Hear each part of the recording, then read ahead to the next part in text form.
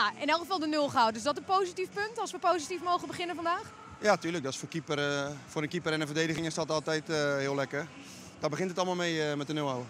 Was druk hè, met die corners van Eudegaard. Ja, ze stonden met z'n allen voor mijn neus. Dus dat, ja, dat, is, dat is lastig verdedigen. Gelukkig kregen we, kregen we ze allemaal weg. Alleen, ja, was niet makkelijk.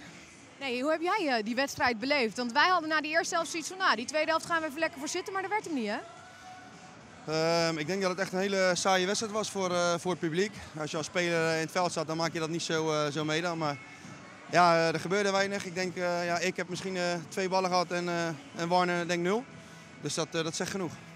Ja, maar wat zegt het?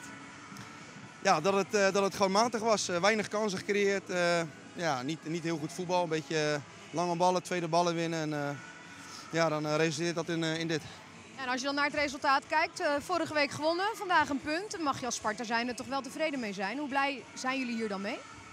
Ja, dat is, eh, dat is wel lekker. Sowieso eh, dat je de nul houdt. Dat is natuurlijk altijd fijn ook voor het, voor het vertrouwen. En ja, je, je verlies je niet. En ik vind Heerenveen toch, toch gewoon een goede ploeg. Het zit denk ik niet, niet echt mee bij die gasten. En ja, dan hebben we het gewoon prima gedaan. Dankjewel.